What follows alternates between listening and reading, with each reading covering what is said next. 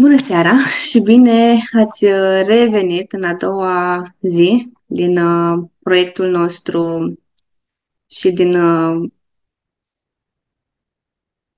săptămâna de îndrumare. Tema de astăzi este și din această lună este pierderea unei sarcini. Dacă ieri uh, am vorbit despre instrumentele și care ne pot ajuta în, în susținerea vindecării, fizice, dar și emoționale. În această seară avem un uh, invitat uh, special și nu pot decât uh, să-i mulțumesc și să știe că îi sunt foarte recunoscătoare pentru că este o persoană care m-a, m-a tras cumva din cercul vicios în care mă aflam și acela fiind în durere am stat foarte mulți ani în durere și Simona Lebădă este persoana care, care m-a ajutat. În această, în această lună puteți beneficia și de un protocol. Vor fi uleiuri pentru, pentru a vă susține timp de 5 zile le găsiți uh, um, formularul, îl veți găsi în, uh, în descrierea de pe grupul nostru despre din grupul Dăruim Renaștere. Protocolul este testat și utilizat de către noi și ales uh, cu o foarte mare grijă. Și nu pot decât să îi predau uh, cuvântul Simonei. Simona, îți mulțumesc tare mult că ești alături de noi și ne susții de atât de multă vreme și știu că ești uh, aici cu noi uh, doar pentru a ne călăuzi pașii și îți mulțumesc că printre miile de suflete vindecate ai reușit să, să mi-l vindeci pe al meu. Îți mulțumesc! Te rog, Simona. Te-am, te-am auzit, uh, Gianina. Uh, ai vorbit uh, despre mine ca și cum eu aș fi făcut ceva. Adevărul este că procesul ăsta este al tău și este al fiecăruia dintre voi. Oamenii nu pot să facă cu adevărat ceva pentru vindecarea voastră. Singurul care poate face ceva sunteți chiar voi. Voi aveți în voi cheia trezirii voastre. Oamenii care vi se alătură într-o anumită călătorie um, sunt doar pentru a vă ține cumva de mână, Știți voi că aveți o siguranță. Realitatea este că voi faceți toată treaba. Um, așa cum spuneam mai devreme înainte de a intra uh, chiar în live, pentru mine uh, subiectul ăsta este provocator pentru că este dificil să-i spui unei mame că există un rost pentru o pierdere. Și asta este uh, marea voastră provocare a celor care ați pierdut ceva, indiferent ce a fost acel ceva. Pentru că în seara asta însă este vorba despre pierderea unui copil, noi oarecum o să ne ducem către acolo. Mi-ar fi plăcut tare mult ca cauzele avorturilor spontane sau pierderilor, da, ca să fie mai prietenos așa, să fie uh, foarte documentate în sens biologic, pentru că asta ne-ar fi ajutat foarte mult și ne-am fi dus direct la uh, cauza biologică a pierderii. De ce un uh, făt nu este viabil pentru luna, lumea aceasta? Eu oarecum în prima parte o să vorbesc un pic mai rece, tehnic, da?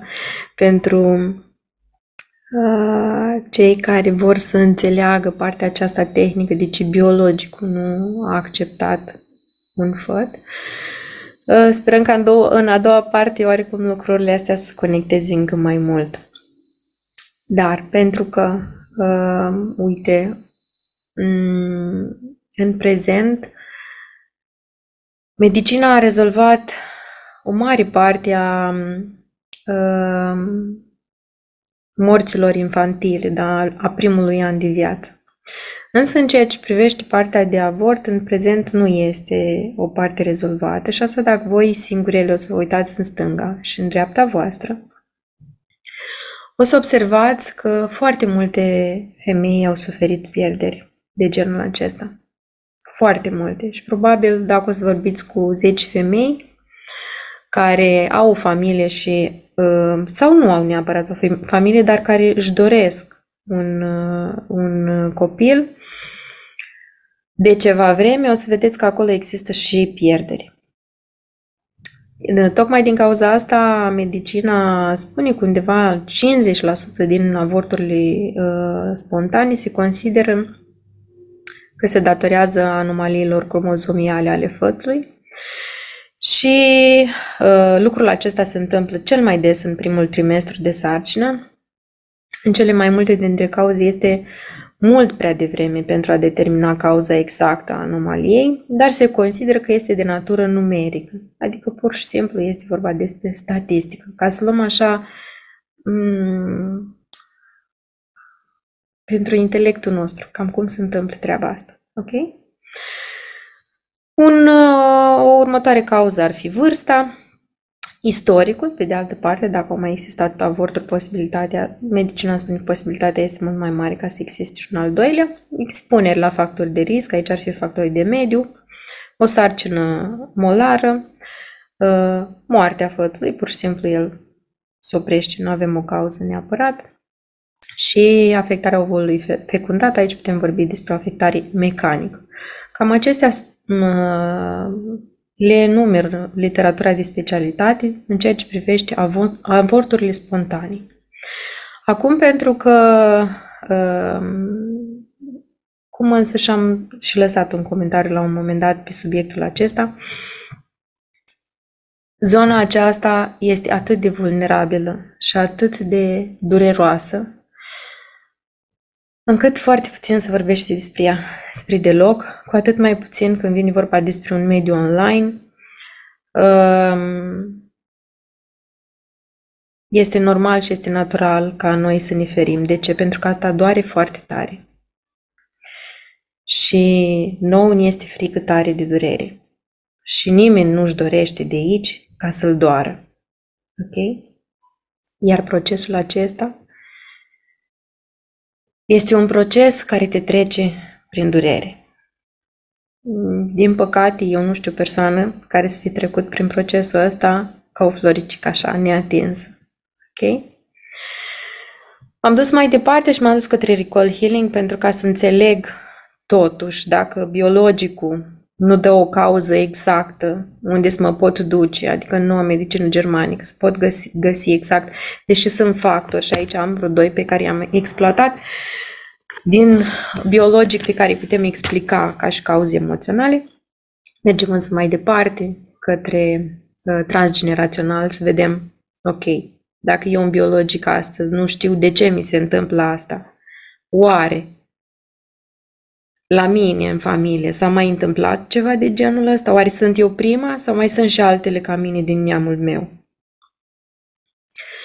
Foarte important, transgeneraționalul spune în felul următor, și asta mi îmi place foarte mult.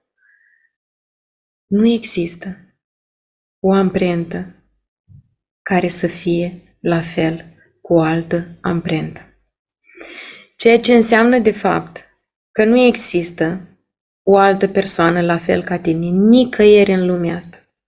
Ești unic. La fel se întâmplă încă din momentul în care tu te creezi. Nu există nimeni la fel cu acel ovul. Nimeni. Tocmai din cauza aceasta transgeneraționalul consideră că un făt pierdut, indiferent din ce cauză, este o amprentă în arborele vostru genealogic și el îl numără ca pe o um, ființă în arborele vostru genealogic. Eu despre partea asta de arbore genealogic am mai spus-o în, în, în um, vreo două videouri și o să, o să revenim cu un link, pentru că nu mai țin minte exact să spun la care săptămână din drumare, dar cu siguranță o să revenim cu un link ca să completăm ceea ce este necesar pentru ca voi să parcurgeți documentul ăsta și să însemnați ce înseamnă 1, 2, 3 și așa mai departe. Eu o să explic foarte pe scurt.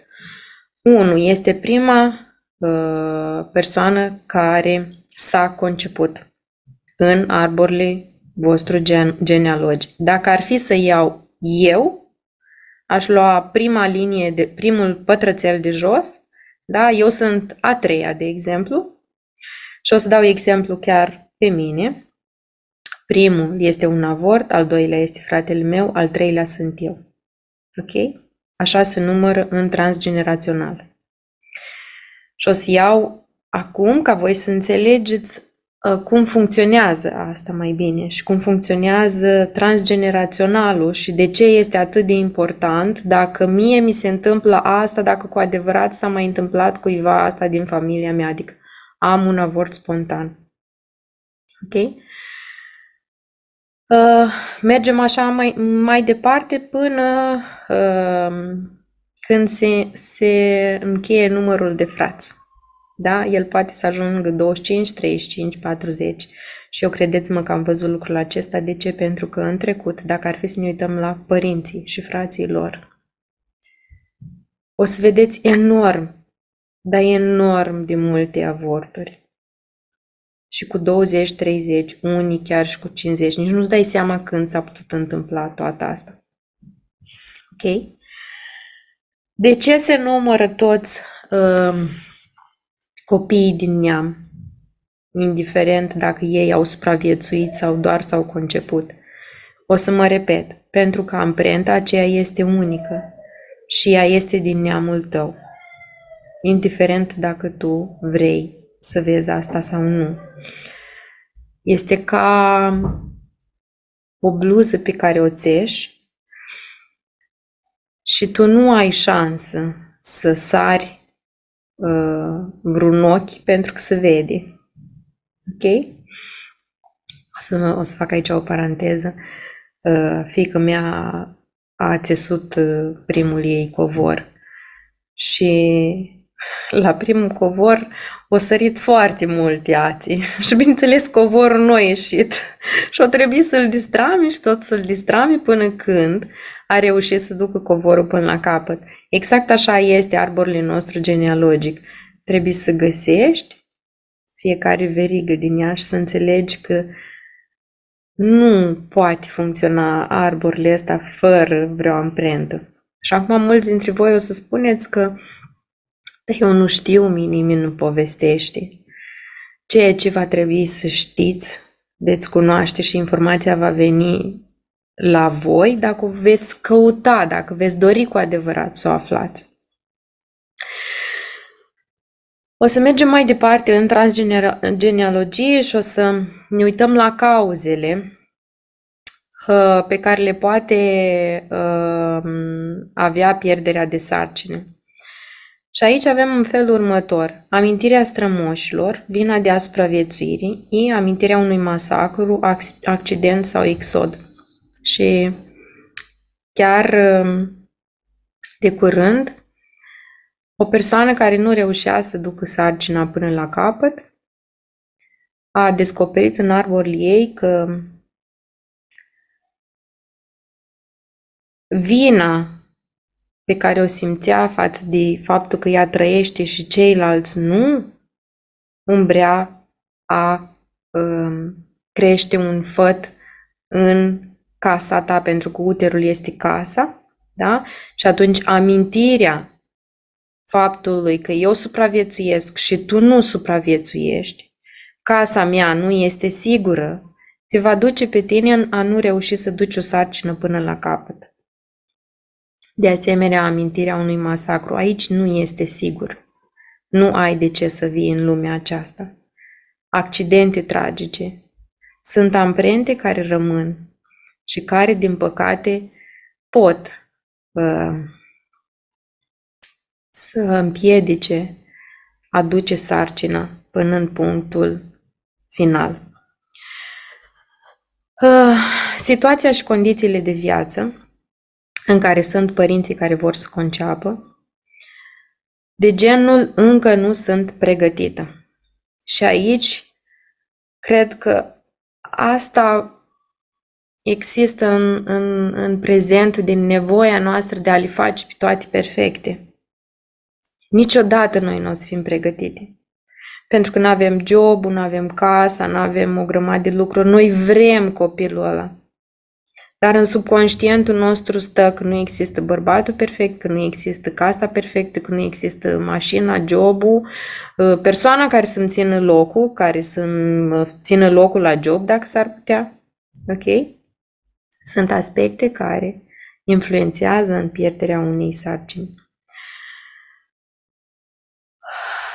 Copilul pleacă pentru a păstra armonia în cuplu. Ă, sunt cupluri care consideră că venirea unui copil ar aduce um, piedici. Inconștient se întâmplă asta. A, poate auziți cupluri care spun, vai, dar noi ne înțelegem atât de bine, este extraordinar ceea ce ne se întâmplă nouă. Da? Dar venirea a trei persoane, și de obicei vedeți că atunci când se apropie familiile de ei, ă, încep să, fie, să se agite spiritele în cuplu. Da? Ei cumva sunt bine doar ei cu ei și atunci copilul alege să plece pentru că își dă seama că face dizarmonie. De fapt, este tot subconștientul părinților care cere lucrul ăsta. O ceartă a părinților poate determina, uh, poate fi cauza unui avort spontan. Uh, bineînțeles, pentru că atunci gândurile mamei sunt oare este potrivit să am un copil acum. Uh, același lucru poate să-l gândească și, și tatăl. Și pentru avorturile care se repetă, Copilul care vine nu se poate ridica la nivelul așteptărilor părinților de a fi copia exactă a copilului care a plecat înainte, a murit, am scris eu aici, înainte. Ehm, asta este o, o, o reală provocare pentru și pentru copiii care vin și chiar să nască după un, uh, o plecare a altuia de ce? Pentru că celălalt este tot timpul înger. În subconștient asta se întâmplă. Vai, eu am să fiu așa un pic mai plastic, poate. Vai, dar celălalt e înger. Aoleu, dar tu ce faci? Ești gălăgios, ești... Mamele care au copii după o pierdere înțeleg despre ce eu vorbesc. Acum. Ok? Um, astea ar fi cauzele pe care ne le menționează transgeneraționalul despre pierderea unei sarcini. Pentru că de foarte multe ori în biologic aud ca și cauză a pierderii sarcinii uh, tromboflebita. O să vorbesc un pic și despre ea, pentru că poate sunt mame, mame și aici. Aceasta este un, uh, un conflict um, care se întâmplă pe sânge, da? în care um, persoana, persoana care suferă de tromboflebită, uh, ce se întâmplă cu ea? Practic, sângele se îngroașă, da? Îngroșarea aceasta a sângelui este, de fapt, um, în procesul de vindecare. Da? Și se întâmplă atunci când persoana nu se simte acceptată de cuibul lui, de familia lui. Se simte mai bine în exterior, dar în același timp și-ar dori foarte mult să fie și în interiorul um, familiei. Este ca și cum ar purta niște cătușe permanente cu ei, niște lanțuri grele în a se duce spre familia de origini. Ceva ție nu îți place acolo și din cauza asta nu te poți întoarce acasă. Întrebarea este, ce nu-ți place ție acasă la tine? În sânul um, în sânul familiei, în sânul clanului din care tu provii. Ok? Uh, am trecut partea asta de tromboflebită pentru că sunt multe cazuri pe care eu le-am întâlnit cu situația asta și cu precădere acum foarte multe sarcini chiar duse la termen uh, susțin că ar avea uh, tromboflebită și atunci sunt necesare anumite proceduri pe care aceste mame le fac Însă eliberarea vine practic din eliberarea acelor lanțuri în a, în a nu se mai devaloriza că nu sunt sta, conform standardelor și conform așteptărilor și pe de altă parte că nu mai există acea apăsare sufletească. Um, sarcina extrauterină este o altă cauză de avort. Aici ovulul a fertilizat pe drum, um, ovulul uh, fertilizat se oprește pe trompe. Da? Ce se întâmplă de fapt aici? În același timp îmi doresc sarcina conștient, dar inconștient, de fapt, eu nu, mi- nu mi-o doresc. De ce? Pentru că copilul nu are loc în casa aceasta, fizic. Fizic, efectiv, eu simt că eu nu pot să cresc un copil în casa asta. Și pentru că Casa pentru femei înseamnă uter, este absolut normal că el se oprește pe drum. Unde? În trompe. Ok? Uh, este o confuzie pe care o are mama. Copilul ar trebui să crească în familie, dar nu îl vreau în căminul meu. Da? Pe de altă parte, Uh, mai avem și uh, un act sexual care poate fi trăit prin violență în momentul concepției sau în timpul sarcinii. Conflict cu caracter parțial uh, sexual. De regulă este vorba despre necurăție. Da? Aici sunt credințe religioase. Acestea sunt cele care creează acest gen de conflict. Um, în general, el are caracter masculin, fie din partea unui bărbat sau fie chiar din partea unei femei care se comporte ca uh, un bărbat. Mie omul acesta mi se pare murdar și atunci uh, din această concepție nu se poate produce transferul de la trompe în uter, da? Și pe de altă parte, este un, um, consider ceva din actul sexual ca fiind ceva scârbos, uh, neplăcut, grosolan sau murdar. Și aici marea problemă pe care eu o văd în, în modul în care am fost crescuți, mare parte dintre noi, uh, și mă gândesc la generația părinților noștri, cât de rușinile erau mamelor noastre să spună că sunt însărcinate. Da? Eu cred că asta voi vă amintiți că din multe ori mamele, cel puțin a mea mi-a povestit, că își lua cele mai largi și mai mari bluzii posibili să nu știe lumea că e însărcinat. Pentru că se considera partea asta ca fiind ai făcut un copil, dar l-ai făcut din murdării. Ei cum vine treaba asta? Cam cum e? Oare care o fi adevărul aici? Ok, vă las să reflectați la partea asta pentru că transferul noi vorbim strict de transfer în sarcina uterină. Extrauterină nu se face de la trompe către uter.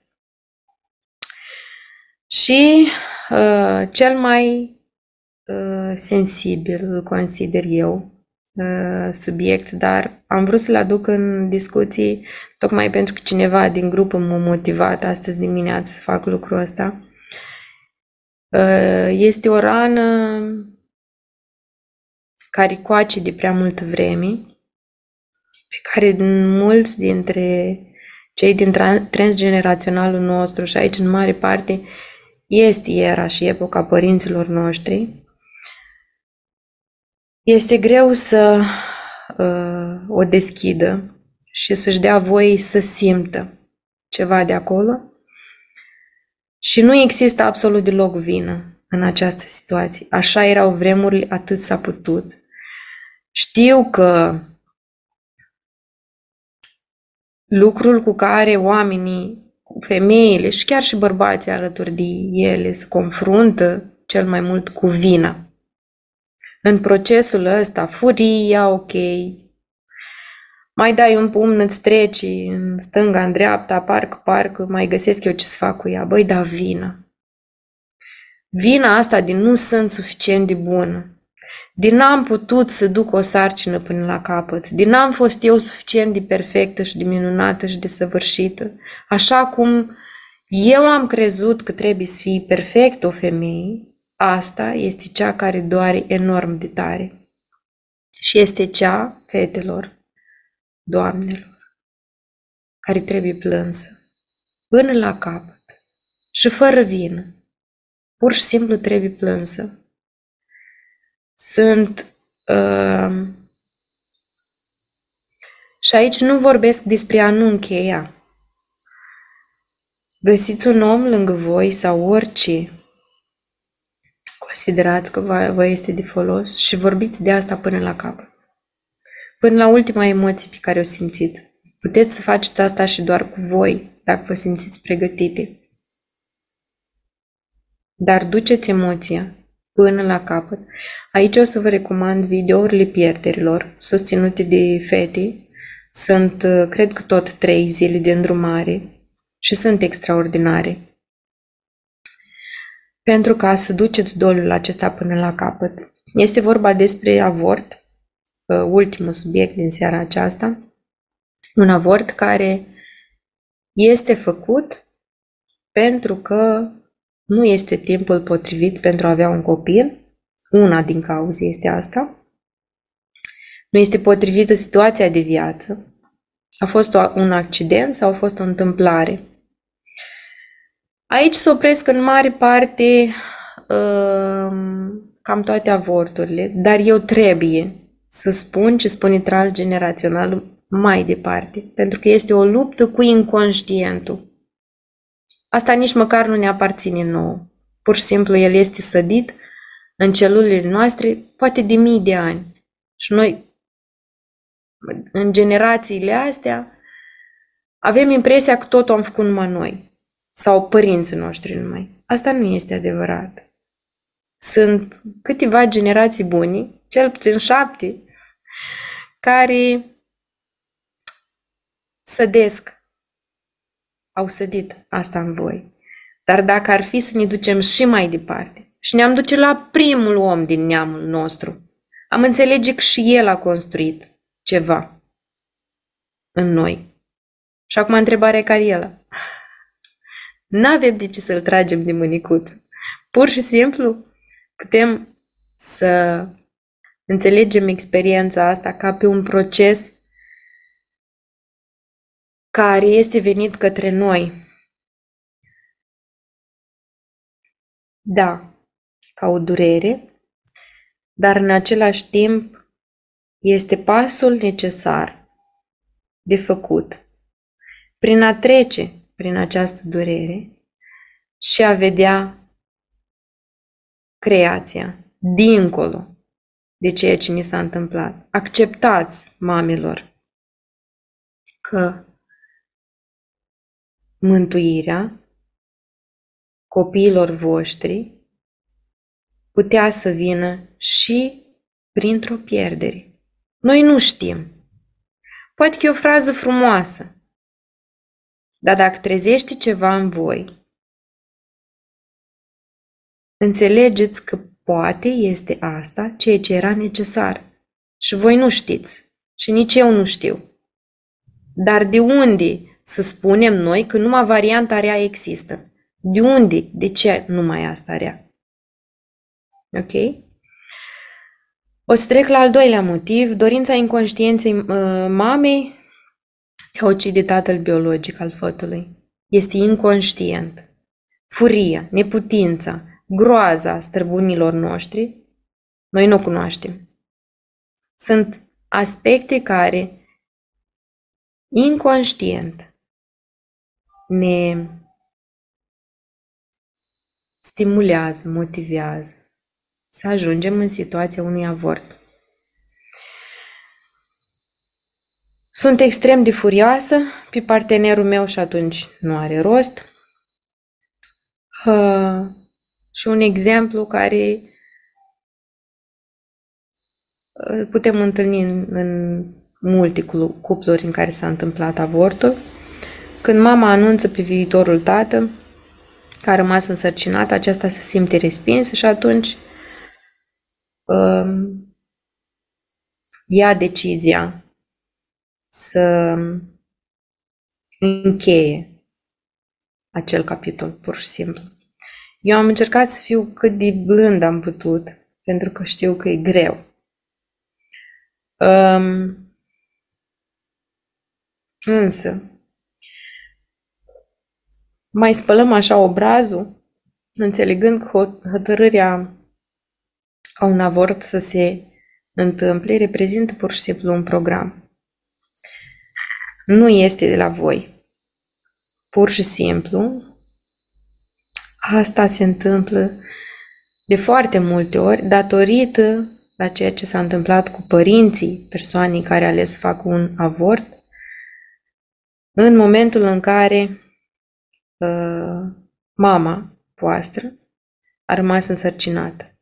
A primit un refuz, condiții nepotrivite pentru sarcină, excluderi din familie proprii sau chiar din cea a partenerului. Și copilul care sunteți voi poartă în voi uh, psihologic și emoțional acea rană. Și în felul ăsta se formează programul.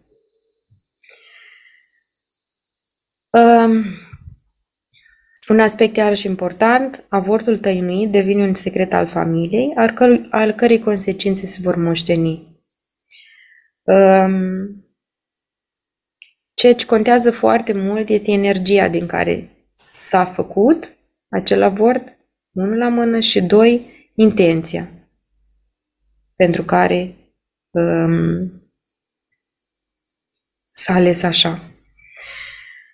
Um, vreau să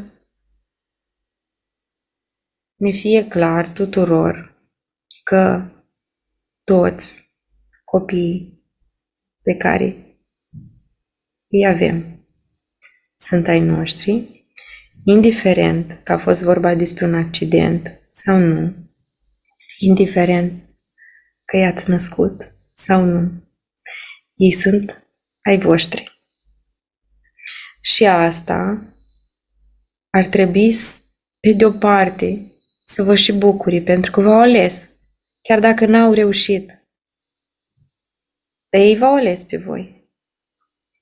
Uh, Circumstanțele noi nu le putem ști 100% și cu precizie, dar putem să dăm voie și lor să aleagă. Chiar dacă asta pe fiecare dintre voi vă doare. Iubirea cu adevărat, și asta de curând am învățat-o și a fost foarte dureros și pentru mine. Iubirea cu adevărat se manifestă atunci când dai voie să plece și nu ții doar pentru tine. Eu cu asta închei pentru live. O să rog pe Gianina chiar să-și oprească înregistrarea și o să continuăm cu niște exerciții, așa pro bono, pentru cei care au ales să intre în live cu noi. Ok, vă mulțumesc tare mult pentru, pentru această seară. Mulțumim în primul rând Simonei uh, Lebădă pentru, pentru toate informațiile și pentru toate conștientizările aduse. Vă aștept și mâine seară în, în ultima zi al, a programului nostru. Um, mâine seară am, am invitate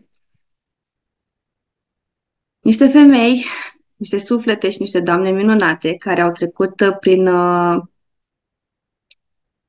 prin pierderi. Unele dintre ele au trecut uh, prin pierderi uh, conștiente sau inconștiente, dar la bază, toate aceste patru minuni uh, au la bază calea spre vindecare și s-au găsit, s-au găsit, uh, au găsit vindecarea cu ajutorul uh, uleiurilor esențiale. Așa că vă îndemnăm să completați și formularul pentru monstre, să citiți cu atenție și micul nostru regulament din descriere și vă așteptăm cu, cu mare drag și, și cu dragoste și cu lumină în suflet. Vă așteptăm și mâine seară în ultima ediție al acestei, uh, al acestei luni. De luna viitoare ne întâlnim, uh, bineînțeles, cu o altă ediție alături de una dintre colegele noastre. Da? Și vă, vă mulțumesc. Vă mulțumesc și vă, vă îmbrățișez.